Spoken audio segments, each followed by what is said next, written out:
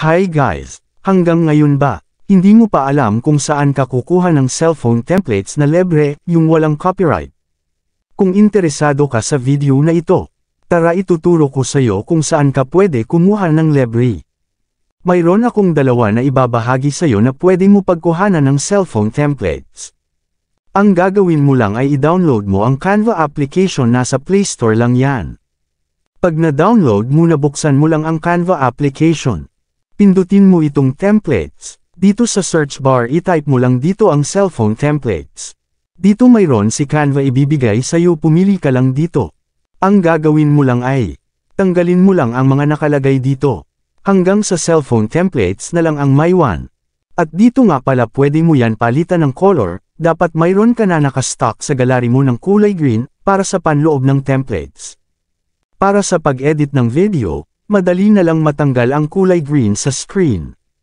Pindutin mo lang ito, para pwede ka na makapili ng color na gusto mo.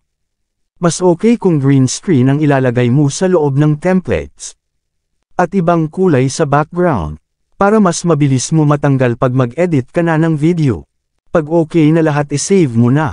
Doon muna makikita yan sa gallery ng cellphone mo.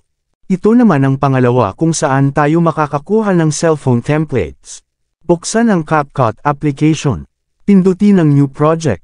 Dito maglalagay muna tayo ng background, depende sa'yo kung anong kulay ang gusto mo na background. Pag mayroon na tayo background ang gagawin mo ay, pindutin ang Add Overlay. Dito mag-add na tayo ng video. Pag okay na back mo lang at hanapin mo ang stickers. Pindutin mo ang stickers. Piliin mo dito ang frame. Dito sa unahan lang makikita muna ang cellphone templates at pindutin ito. At hilain mo lang ang templates hanggang sa katapusan ng video. Back mo lang at hanapin mo ang mask at pindutin mo ito. Piliin mo ang rectangle. Adjust mo na lang ang mga gilid ikaw na bahala para magkasya ang video dyan sa cellphone templates. Ayan okay na, ganun lang kadali gumawa ng video na mayroon cellphone templates.